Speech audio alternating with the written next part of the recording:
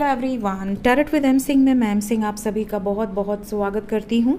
हमेशा की तरह सोमवार को मैं आ गई हूँ आपके लिए ट्विन फ्लेम्स की करंट एनर्जी लेकर। और आज है फुल मून और फुल मून के साथ साथ आज है लूनर एक्लिप्स तो लूनर एक्लिप्स की क्या एनर्जी का इफ़ेक्ट है ओवरऑल ट्विन फ्लेम्स के ऊपर? साथ ही साथ फुल मून की एनर्जी का कैसा इफ़ेक्ट रहेगा? और साथ ही साथ ओवरऑल एनर्जी जो शिफ्ट हो रही है हमारे अर्थ प्लानट की उसका क्या इफ़ेक्ट होगा, ये भी मैं आपको गाइड करूँगी। देखिए ट्विन फ्लेम्स जो एनर्जीज़ होती हैं इस धरती पर, वो घटना घटित होने के पहले ही एनर्जी को भांप लेती हैं। ये उनके अंदर एक बाय बर्थ एक इनबॉर्न क्वालिटी होती है। कुछ होने वाला है उन्हें पहले से आभास हो जाता है। कुछ अच्छा होने वाला है, उन्हें आभास हो जाएगा। कुछ गलत होने वाला है, उन्हें आभास हो जाएगा। अगर मदर गाया की एनर्जी बहुत पॉजिटिव है तो उन्हें फील हो जाता है कि मदर गाया बहुत ज़्यादा प्रसन्न है और एनर्जी में कुछ बहुत अच्छे अच्छे चेंजेस आने वाले हैं। और अगर मदर गाया पर्ज करने वाली है, मदर गाया बहुत उदास हैं, मदर गाया बहुत पीड़ित हैं तो यहाँ पर उन्हें आभास हो जाता है कि धरती पर कुछ अनहोनी होने वाली है। तो ट्विन फ्लेम एनर्जी पर ग्रहण का फुल मून का न्यू मून का अर्थ पे होने वाले हर शिफ्ट का असर होता है और सबसे पहले होता है। उनकी एनर्जी पहले सफ़र करती है, बाद में बाकी लोगों तक वो चीज़ें पहुँचती हैं।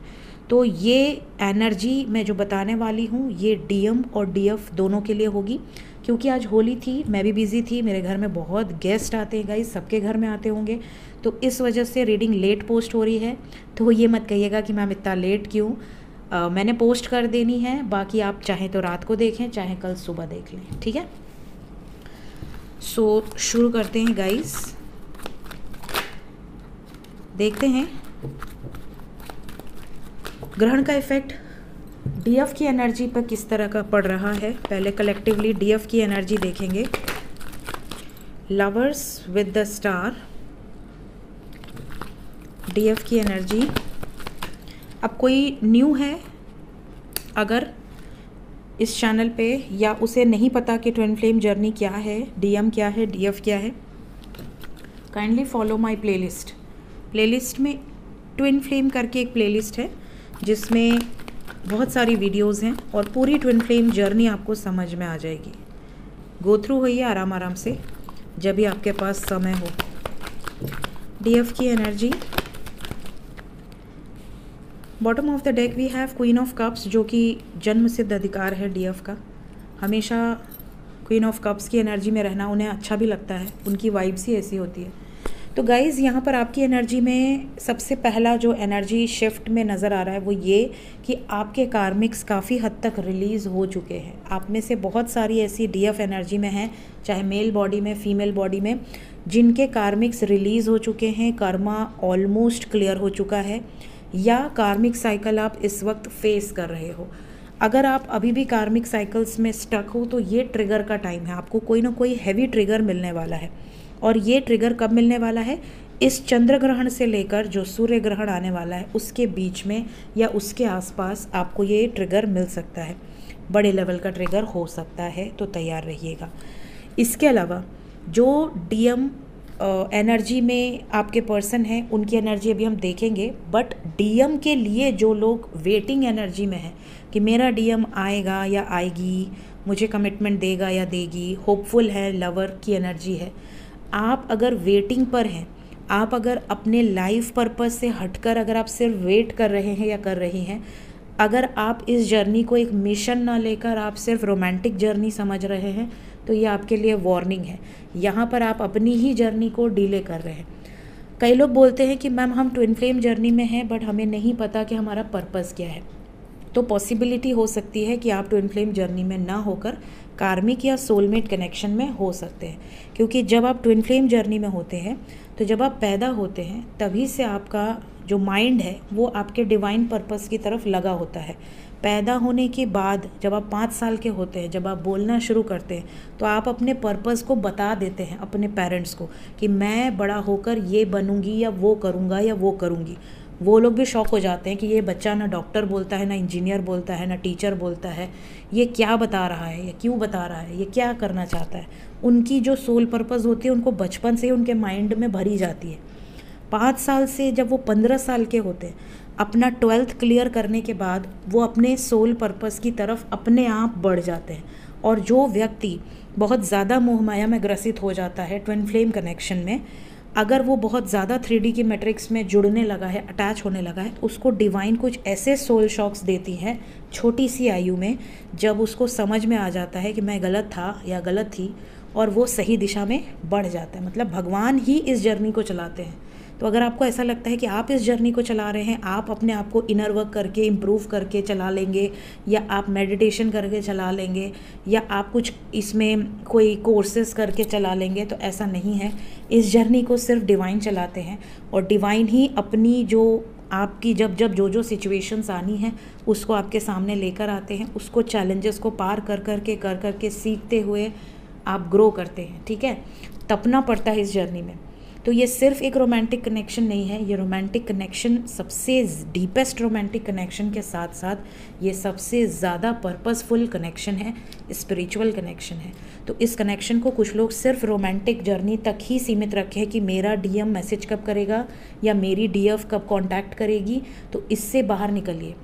वरना आप इसी में घूमते रह जाएँगे, इस साइकिल में और आप कुछ अचीव नहीं कर पाएँगे। तो अगर आप ट्विन फ्लेम कनेक्शन में हैं तो करेजियस डिसीजंस लीजिए, अपने आप को बैलेंस कीजिए। बैलेंस कैसे करना है, इस पर भी मैंने वीडियो बनाई हुई है प्लेलिस्ट पे है। मैस्कुलिन एंड फैमिलिन एनर्जी कैसे बैलेंस करना है। बैलेंस होने के बाद आप अपने पर्पस पे और फास्ट पेस में लग सकते हैं। जब तक आप बैलेंस नहीं हैं, आप अपने पर्पस पे भी फुल्ली फोकस्ड नहीं हो पाएँगे। यहाँ पर कुछ डीएफ की हेल्थ प्रॉब्लम भी होगी। हेल्थ प्रॉब्लम में सबसे पहले तो थ्रोट चक्रा पे इफ़ेक्ट आएगा। कलेक्टिव एनर्जी है ये। थ्रोट चक्रा के साथ साथ आपके सोलर प्लेक्सेस पे इफ़ेक्ट आएगा, आपकी स्किन पे इफ़ेक्ट आएगा।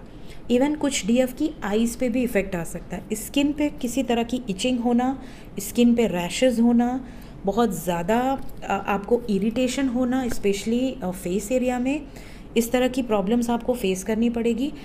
आपके जो लंच या डिनर है, वो भी आप स्किप कर सकते हो।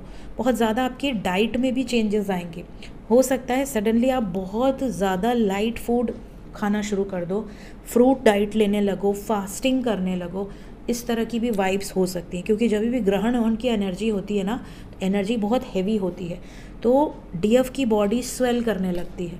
ऐसी सिचुएशन में ज़्यादातर अपने आप जो रूटीन है, वो मेंटेन करने लगते हैं। डिवाइन आपको फ्रूट डाइट पे रखना लाइट भोजन पे रखना, बहुत ज़्यादा सॉल्ट इनटेक ना करना, बहुत ज़्यादा शुगर इनटेक ना करना, बहुत ज़्यादा ऑयल इनटेक ना करना, इस तरह की वाइब्स हो, होंगी डी एफ़ एनर्जी की। प्लस क्वीन ऑफ़ कप्स की एनर्जी है विद मून तो यहाँ मून इमोशंस को तो भड़, भड़काता ही है। तो यहाँ डेफिनेटली आप अंदर से बहुत ज़्यादा इमोशनल फील कर सकते हो। बहुत ज़्यादा अपने डीएम को लेकर। देखते हैं डीएम की energy over and all, divine masculines की एनर्जी, जय शिव शक्ति।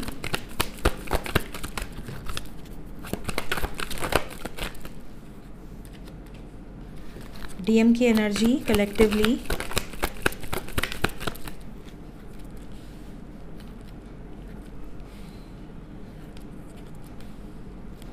bottom of the deck we have magician overall energy we have seven of cups ज़्यादातर डीएम ऐसा लग रहा है डिवाइन गाइडेंस को फॉलो कर रहे हैं।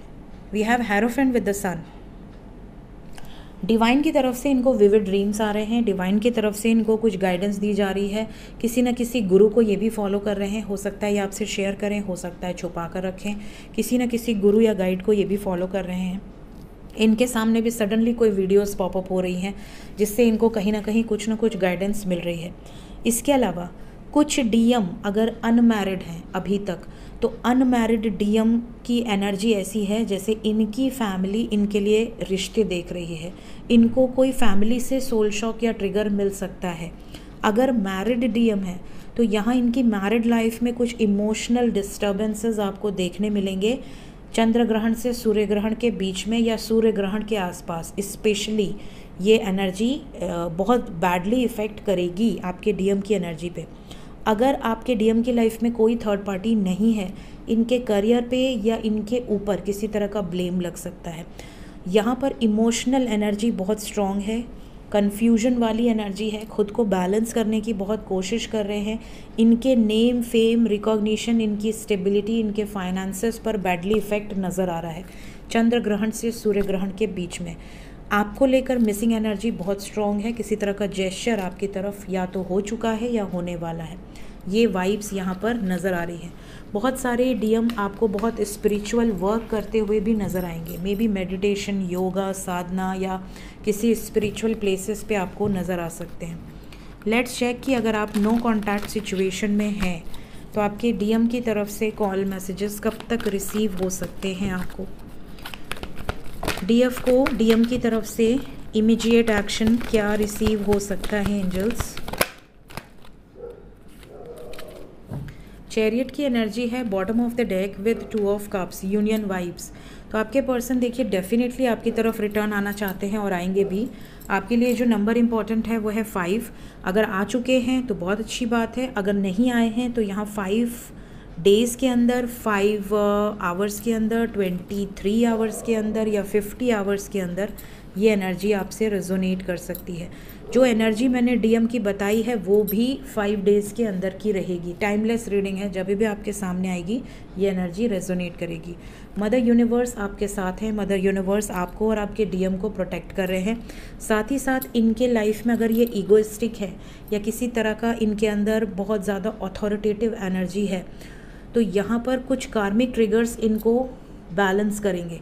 इनका जो भी अथॉरिटेटिव नेचर रहा होगा पास्ट में, बहुत ज़्यादा लॉजिक बहुत ज़्यादा प्रैक्टिकल होना, उससे बाहर निकलने की एनर्जी है। कुछ सोल शॉक्स इनको ऐसे मिलेंगे जिसके बाद इनका ईगो बिल्कुल ख़त्म हो जाएगा। ये बिल्कुल ग्राउंडेड एनर्जी पे आ जाएँगी या आ जाएँगे।